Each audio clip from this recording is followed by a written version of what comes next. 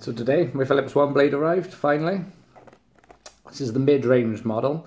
The top model was actually sold out. I was a little bit disappointed, but being in the trial of only 400 people, you can expect the demand to be high. First impressions, neat packaging.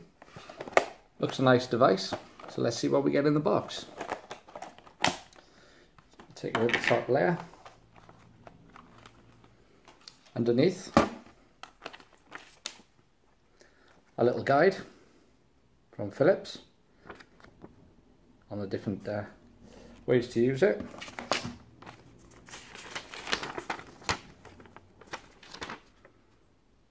Some care instructions and information on the charging. We've actually got four guide blades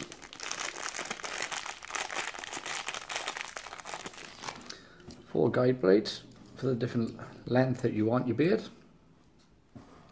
which is useful for someone like me. I have my beard sometimes short down to stubble and sometimes a little bit longer like it is at the moment. It should be good to, to try these out.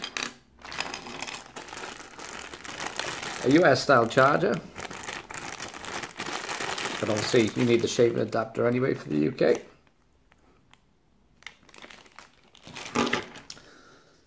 you get the Philips warranty and guarantee. And appears to be a little welcome note from Philips. Again and that another care package. So let's take a look at the OneBlade itself. Two little clips at the back to release.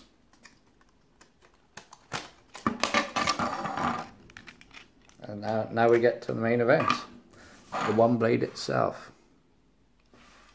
First impressions, nice looking device. Nice weight in the hand. Not too light but not too heavy. No charge on it at the moment. So looks like I'm to have to charge it before I'm to try it out. Uh, I like the colours of the device. The grip feels good on the sides so it shouldn't slip when, uh, when actually using it. And overall first impressions, it looks a neat, tidy device. Once I get it charged, I can't wait to try it out and see how it works in practice.